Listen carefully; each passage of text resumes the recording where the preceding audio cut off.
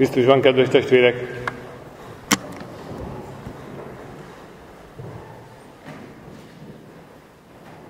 A húsvéttől pünkösdig tartó időszaknak az első 40 napja az, amikor Jézus a feltámadása után még ott van a tanítványokkal. A következő héten telik le ez a 40 nap, és áldozó csütörtök lesz Jézus mennybe menetelének a napja. És a húsvét utáni evangéliumokban, a rendjében mindig megpróbál bennünk valami, valami lelkesedést tartani az Isten, megpróbálja valahogy a húsvétnek az élményét mindig visszacsempészni az embernek a lelkébe, mert ahogy távolodunk, úgy egyre inkább megkopik az élmény a lelkünkben, pedig a húsvéti élmény nélkül nagyon nehézé válik körülöttünk a világ és az élet is. Ezeknek a vasárnapi evangéliumoknak a rendjében ez az utolsó, amikor Jézus találkozik egy vakkal. És ott mindenféle teológiai dolgok is előjönnek ebben a történetben, meg a legfontosabb jelképeket, amelyeket Jézus használ, az, hogy a földre köp, hogy sarat csinál, hogy bekeni a szemét, hogy megmostatja a Siloelben, ami küldöttet jelent.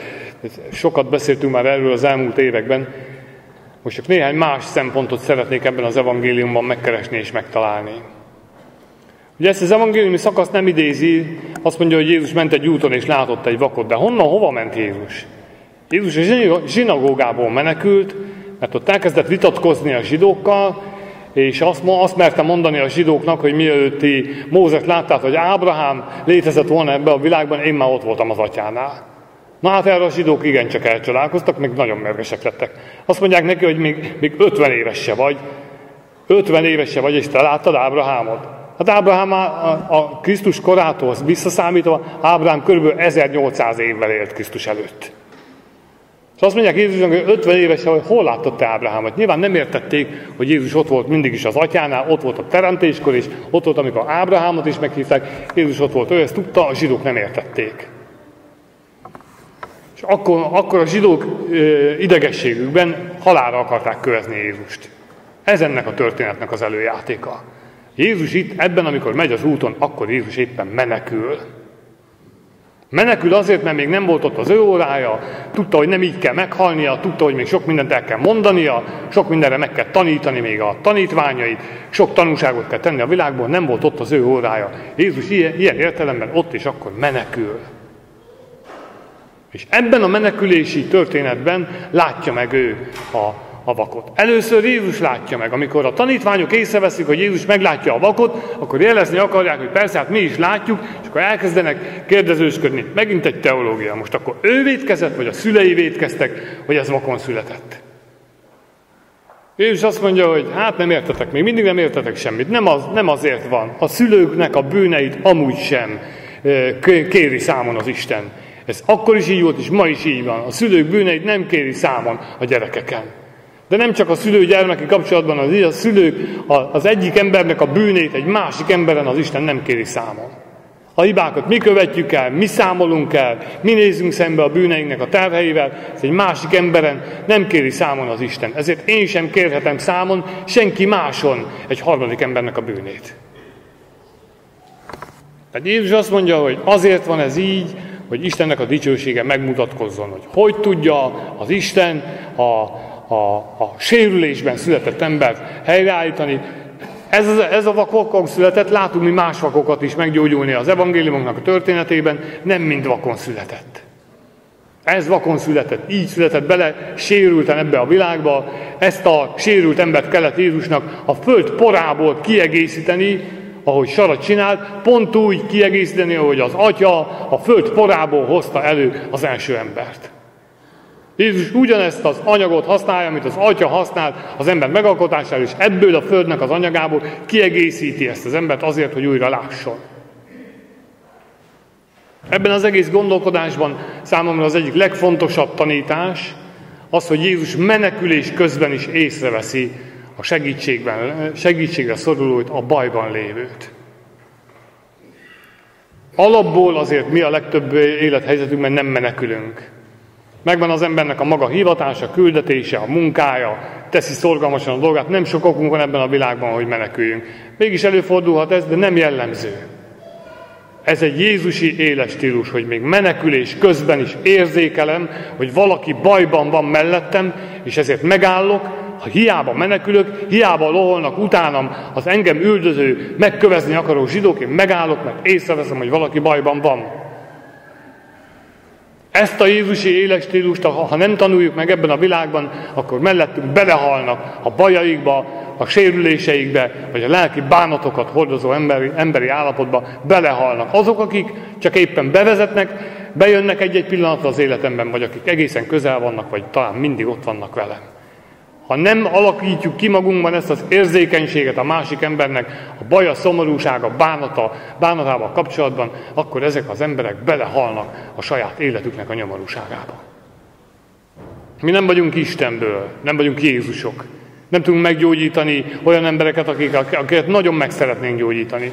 Nem látjuk, de ott tudunk vele lenni, érzékelni tudjuk az ő baját, meg tudjuk fogni a kezét, hogy tudunk adni neki az időnkből, teljesen mindegy, de észrevesszük és valamit tehetünk. Ez a Jézusi életstílus mutatkozik ebben a megállásban, az, hogy ő menekülés közben is meglátja ezt a, ezt a vakon született embert. Amikor a, elkezdenek vitatkozni, hogy akkor most a tanítványok, hogy akkor most ez bűnben született, vagy ez büntetése, úgy gondolom, hogy Jézus azért nagyon jól tudja, mit jelent a szenvedés. Ezt később is nagyon fogja tudni, amikor a kereszt felé tart és a kereszten halloklik, Jézus tudja, hogy mi ez a szenvedés. Úgy gondolom, hogy a szenvedő előtt akkor is, meg ma is két lehetséges út van. Ezt nagyon jól látjuk a, a világban, amikor valaki beteg lesz, vagy valaki szenved körülöttünk. Két út van. Az egyik az, hogy elkezdi átkozni az Istent, a másik meg az, hogy elkezdi magában, magában vizsgálni, hogy akkor most miért történik, vagy miért velem történik, vagy mi a, mi a célja ennek az egésznek, hogy van-e ebben valami, valami isteni működés, vagy egyszerűen arról van szó, hogy elhagyott az Isten. Én úgy gondolom, hogy a, a szenvedés nagyon rossz. Aki volt már nagyon beteg életében, az tudja, hogy a szenvedés nagyon rossz. Mégis úgy gondolom, hogy a szenvedések közepette nem csak azt kell kérdezni, hogy miért, ezt nagyon sokszor kérdezzük, hogy miért velem történik, hogy nem csak, nem csak testi betegségekben. Amikor az embernek össze van törve a lelke, amikor magányos, amikor elhagyottnak, fölöslegesnek érzi magát, nagyon sokféle lelki szenvedés van, mindig azt kérdezi, hogy miért. Úgy gondolom, hogy nem csak ezt kell kérdezni, hanem mi célból. Hogy Istennek van valami rálátása az én életemre, és tudja, hogy ezek a bajok és szenvedések, lelki vagy testi betegségek, hogy ezek miért történnek velem. Van ennek valami célja? Amikor Jézus megáll a vak mellett, akkor azt mondja, hogy igen, ez szenvedés. Nem önmagáért azért történik, a vakság az egy szenvedés. Az akkor is az volt, ma is az volt. Azt mondja, nem csak azért történik, mert ez ennek az embernek éppen ez az útja, hogy ez jutott, vagy ahogy ma mondják, hogy ez dobta neki a gép. Hát nem így van. Jézus azt mondja, hogy azért született így, mert az Istennek a dicsősége kell, hogy ebben az állapotban meg, megmutatkozzon. Tehát ez Jézus világosan azt mondja, ez neked is mondja, hogy nem csak arról van szó, hogy nem csak azt kell kérdezni, hogy miért, hogy miért történik így az életed, hogy miért nincs meg ez vagy az, vagy miért történik ez vagy az, amit nagyon nem akarnál, hogy történjen. Mi célból? Istennek itt volt terve ebben a vakban. Gondolod, hogy a te megsérült életeddel kapcsolatban az Istennek nincs terve? Hogy egyszerűen csak beleszülettél ebben a, a 20. században, és élsz itt a 21-be, és akkor valameddig élsz, és akkor te egy a 7 milliárd emberből egy szürke kis pont vagy, és nem számít az Istennek, hogy veled mi történik. Gondolod? Anyád méhében, akire ma olyan, olyan kedvesen gondolunk, a, az anyánk méhében, amikor, amikor megfogant az életed, akkor Isten megálmodott, megálmodott egy új embert. Téged, egyetlen egy van belőled. És azért különböző mindenki mástól, mind a másik 7 milliárdtól. Azért különböző, mert Isten megálmodott, megálmodott egy új életet. Gondolod, hogy egyszerűen csak elfelejtette? Hogy ma már nem számít, meg amúgy is éltem már 50 évet, vagy százat. És úgyis már mindent megpróbáltam, minden megtörtént az életedben, ami megtörtént, szürke ponttá váltam. Ne gondold. Isten azt mondja az életed fölött, hogy azért születtél, hogy az Istennek a terve, a dicsősége megmutatkozzon a te életedben. Úgyhogy úgy gondolom, hogy a második tanítás, azután, hogy Jézus érzékeny és észreveszi maga mellett a bajt, a másik fontos tanítása ebben ennek a történetnek, hogy az Isten minden rosszból és bajból is ki tud hozni valami jót. Vannak olyan életállapotok, vannak olyan betegségek, és vannak olyan szörnyű lelki állapotok, bánatok, szomorúságok, vannak olyanok, ami, ami fölött mi már semmi reményt nem hordozunk. Azt mondjuk, hogy ez már így van. Ez, ezért mondjuk egy betegségről, hogy ez egy gyógyíthatatlan betegség. Ezért mondjuk egy lelki állapotra, hogy engem már soha senki nem fog tudni úgy megszerelgetni, vagy megvigasztalni, hogy én boldog legyek. És lám, itt jön az Isten, és azt mondja, hogy ne gondold. Amikor téged megkeres, vagy meglátogat egy lelki bánat, egy szomorúság, amikor felfedezed az életedben, vagy felfedezed az orvosok, hogy te beteg vagy, akkor is mindig figyelj Jézusra. Mert ő egy lehetetlenségnek tűnő állapotból is a végén jó gyümölcsöket tud előhozni. Nem csak azt kérdez, hogy miért, hanem azt kérdez, hogy mi célból. Én azt gondolom, hogy látjuk a vakot, látjuk azt, hogy egy ilyen félig meddig hitből, vagy nem is tudjuk, hogy hitte igazán, a szülők igen, azt látjuk, de hogy ez hitte, vagy hogy... De szépen lassan azt mondja először, hogy hát ez csak egy ember, azt mondja utána, hogy ez proféta, azt mondja utána, hogy hát szerintem az Istentől van, mert őt meghallgatja az Isten, aki nem Istentől van, azt nem hallgatja meg az Isten. Végén azt mondja, hogy mikor Jézus megismerteti magát, hogy én Uram, én Istenem.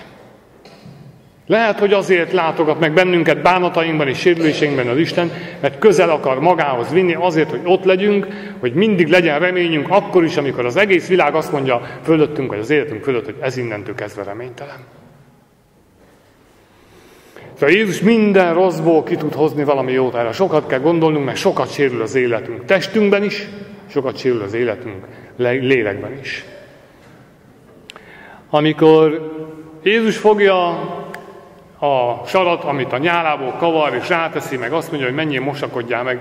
Mennyire egyszerűen is csinálhatta volna ezt Jézus. A másik két vakot úgy gyógyítja. Az egyiket egy szóval gyógyítja meg, a másiknak azt mondja, hogy rátettem a kezem a szemedre, látsz már? Hát azt mondja, látom, mintha az emberek fák lennének, ráteszi még egyszer, és akkor mondta, kezdve látott.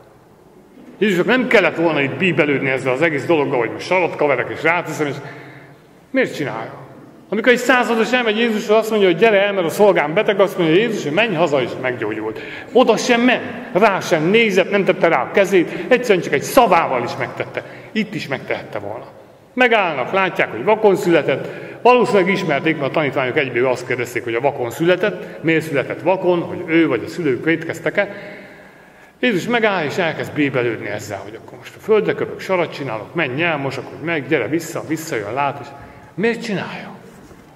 Úgy látom ebben a Jézus viselkedésben, hogy Jézusnak számítanak a körülmények. Amivel egy-egy fontos dolgot körülvesz az ember az életében. Úgy tűnik, hogy Jézusnak számítanak a körülmények, a körülmények azok folyamatokat jelentenek, ezek egy lassú dolgok, nem hirtelen. Lehetett volna egy szóval is, Jézus elkezdett bíbelődni ebben az egésszel. Az embernek az életében vannak fontos dolgok, aminek számítanak a körülményei. Nyíregyházán, amikor éppen ketten voltunk papok, az, akkor még egy nagyon nagy egyházközség volt, éjjel-nappal loholtunk, próbáltuk utolérni magunkat, nem mindig sikerült is. Volt egy káplánom, paprikolós atya, aki most itt él Budapesten, sokan ismeritek, mindig arról álmodtunk, hogy eljön az a kor, amikor majd csak tabletták lesznek az ételek helyett, a zsebünkből megyünk napközben össze-vissza, nincs idő enni, akkor előkapunk egy tabletet, megesszük és kész. Mert erre nincs idő is. Hamar rájön az ember, hogy lehet úgy is enni, hogy rohanok és állok, vagy a kocsiba gyorsan megeszek egy pizzát, vagy valamit. Ez is táplálék, de mennyivel másabb otthon leülni egy vasárnap, amikor megteríted az asztalt, amikor szépen összegyűjtöd azt, akik éppen ott vannak, vagy éppen ott van veled csak az Isten, mert egyedül élsz, de megadod a módját. Elkészíted, megterítesz, és békében, nyugalomban, nem kapkodva egyszerűen elköltöd a vasárnapi ebédedet. Ezek körülmények. Mind a kettő evés. Rohanva az utcán, szendvicset éve, vagy otthon ülni, és, és éppen érezni azt, hogy az Isten táplál téged, azért ez egy másik érzés. Mert ezek csak körülmények. Úgy tűnik, hogy Jézusnak ezért számítanak a körülmények, hogy hogy csinálod. Ugye számít az, lehet a villamoson imádkozni, elmondani gyorsan egy mi atyánkot, mert rájöttem, hogy reggel elfejtettem imádkozni, és akkor megyek a munkáért, akkor kocsiban vagy a villamoson elmondok egy imát. Így is lehet. Meg úgy is lehet, hogy az ember vasárnap felkel, felveszi a jobbik ruháját, szépen elutazik a templomba, próbál az Istenre figyelni, próbálja az Istennek hagyni, hogy megvigasztalja, vagy meggyógyítja a sebeit, aztán szépen hazamegy, és próbálja a vasárnapot békében tölteni.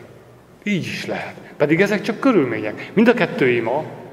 De úgy látszik, hogy Jézusnak számítanak a körülmények, mi is érezzük a körülményeket. Lehet anyák napján odadni egy virágot, hogy tessék, te vagy az anyám, meg lehet megölelni az anyámat. Mind a kettő virág, mind a kettő odadom, azt gondolom az ölelés többet ér, mint a világ, mint a virág. Szóval Jézusnak számítanak ezek a körülmények, úgy gondolom, hogy nekünk is valahogy ezekre a körülményekre egy kicsit koncentrálni kell. Ez egy lassúság. Úgy látszik, hogy az Isten be akarja egy kicsit lassítani azt a ritmust, amiben éljük az életünket, azért, hogy a körülményekre való figyelésben egy kicsit másképp is lássuk életünknek a dolgait. Hogy ne csak azt érezzük, hogy történnek így egymás után a dolgok, szürkékké válnak, egyformává válnak, hanem kérem, a körülményekben rejlik sokszor az, hogy éppen fontosnak érezzük, hogy az örömeink megszületnek-e, vagy nem születnek meg. A magban azt látjuk, hogy lassan, azért történik lassan bele a dolog, hogy megszülethessen a hite. Ezért történik lassan. Először csak embernek mondja, utána profétának mondja, utána azt mondja, hogy az Istentől van, utána meg azt mondja, hogy én Uram, én Istenem. Lassan. Én azt gondolom, hogy kell nekünk egy élet arra, hogy úgy megérjen bennünk a hit, hogy egyszer ez, ezáltal a hit által az Isten a saját országába fogadhasson bennünket. Lassan. De most hol tartasz? Így 20 évesen, vagy így 50 évesen, vagy így 90 évesen, te most hol tart a hited? Ha most azt mondaná az Isten, hogy most kell megmérni az életedet, mert, mert ennyi volt, akkor lenne annyira erős, lenne annyira tiszta, lenne annyira szent az életed, hogy szívesen öleljen magához az Isten. És nem tudjuk, hogy lesz-e holnap. De mindenképpen erre csábít bennünket az Isten, hogy, hogy közel legyünk. Rengeteg szor, egy jó dolog történik ebben a vakkal. Hát mekkora jó dolog, vakon született, nem tudjuk hány éves volt. Amikor a szülők azt mondják, hogy kérdezzétek őt, mert megvan a kora, ez azt jelenti, a zsidóknál 12 éves volt a felnőttségi kor, onnantól kezdve volt kötelező törvényeket megtartani, tehát legalább 12 éves volt. Neki már van joga szólni saját maga helyette. 12 évesnél fiatalabbnál csak a szülők szólhattak. Azt mondják a szülők, hogy megvan a kora, kérdezzétek őt. Tehát igazából egy jó dolog történik vele. Sok év után egyszer csak egy ember, aki semmit sem látott, hogy mekkora csodálkozása lehetett a világon. Mi megszokjuk, láttuk most tavasszal, hogy hogy pattan ki egy élettelen fából egy ürügy, hogy lesz levél, hogy lesz zöld hirtelen minden. Ezt soha nem, soha nem látta. Nem látott meg egy másik nőt, aki megtetszett neki, mert nem látta a szépségét. Nem látott semmit. Mekkora csoda, mekkora jó dolog történik ezzel a vakkal. És elkezdik faggatni, elkezdik bántani, elkezdik vádolni, elkezdenek vitatkozni, mert is a végén kidobják. Annyi fontos jó dolog történik benned. Nem? Azért te is érzed. Persze, hát látja az ember a saját hibáit is, tehát annyi fontos jó dolog történik benned. Nem? Nem érzed, hogy milyen jó dolgok is történnek benned. És a világ hogy bánik veled? Nem értenek, vitatkoznak velem, bántanak, kizavarnak, kidobnak, nem becsülnek meg, mellőznek, nem számítok, pedig egy csomó jó dolog van bennem, és ott élnek velem emberek, sokszor egy családban, és nem számítok. Ott él a főnököm, uralkodik a cégem fölött, és nem számítok. Egy utolsó vagyok, akinek csak a munkája kell, ne szólj semmit. Ez a modernkori rabszolgaság, hogy ne legyen véleményed, legyél ügyes szakmailag, csináld meg, de ne szóljál. Megfizetnek talán jól is, de ne szóljál. Ez a multiknak a kora, ami rettenetesen kisigereli az embernek a méltóságát és a személyiségét. Legyél ott, csináld meg, legyél ügyes, de ne szóljál. Így történnek a jó dolgok ezzel a vakkal, és a végén bántják. És a végén még ki is dobják. Hát úgy gondolom, hogy, hogy azért a, az ember szépen lassan rájön, ha így bánik vele a világ, hogy igazából nekem senki, senkim nem marad, senkim nem marad, csak az Isten. Amikor már szétszaggatták, amikor szétvitatkozták, amikor már elkezdték bántani, meg azt mondták, hogy te, te bűnben születtél, és hogy mersz nekünk egyáltalán szólni, végén kidobják, akkor Jézus megkeresi. Azt mondja, hogy látod, ilyen jó dolgok történnek veled, és csak én vagyok neked. Senki más nem érzi, nem látja, nem becsül meg. Az összes zsidónak le kellett volna borulni, és azt mondani, hogy Úristen, itt a messiás. Hát tényleg ő az ilyen csodát művel. Nem, elkezdik bántani, elkezdek vitatkozni, és a végén kidobják. Jézus megkereste őt, és hidd el, hogy megkeres téged.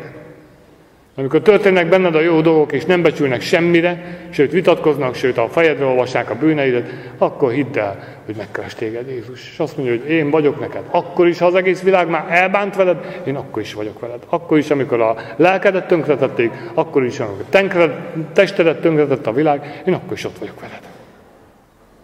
Szépen lassan rájövünk, hogy nekünk igazából csak Jézus marad. Hát adja Isten, hogy mindig közel érezzük ehhez a figyelmesen szerető Jézushoz magunkat. Én azt gondolom, hogy amikor a figyelmesen szerető Jézusra gondolunk, akkor egyben gondolhatunk az édesanyákra is. Ugyanazokra a nőkre, akik, akik minket szültek, vagy neveltek, vagy akik, akiket mi szültünk és neveljük őket. Ez a figyelmesen szerető kapcsolat. Azt gondolom, hogy a világ legdrágább kapcsolata. Ez a figyelmesen szerető kapcsolat. Azt gondolom, hogy Jézus szeretetére koncentrálva tudjuk igazából megélni ezeket a kapcsolatokat, és mivel Jézus szeretetére gondolunk, itt azt is tudjuk, hogy nem elsősorban az köt bennünket össze egy nővel, egy asszonynal, mert a gyermekei vagyunk, vagy a gyermekeinkkel, nem ez köt bennünket, nem csak a biológia, hanem Jézusnak a szeretete. Így lesz édesanyánk, minnyájunknak Mária, pedig biológiailag nem tőle vagyunk, de mégis édesanya, mert a maga szeretetével vette körül Jézust, és ezzel a szeretettel jár közben figyelmesen ma is értünk. Úgy gondolom, hogy a figyelmes szeretetre törekedve ott leszünk Jézusnak a világában, ott lesz velünk Mária, és köszönhetjük édesanyáinkat, akik nem csak biológiából, hanem szeretetből merítve gondozták és ápolták az életünket.